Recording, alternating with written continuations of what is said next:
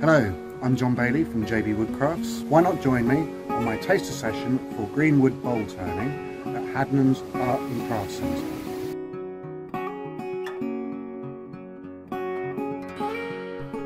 The bowl turning taster session will take place in this part of the Hadnam Gardens. This is your chance to try turning a Greenwood bowl on a traditional pole lathe. Each participant will take a turn working on the wooden bowl. As this is a communal bowl, it will go home with a person whose name is drawn randomly.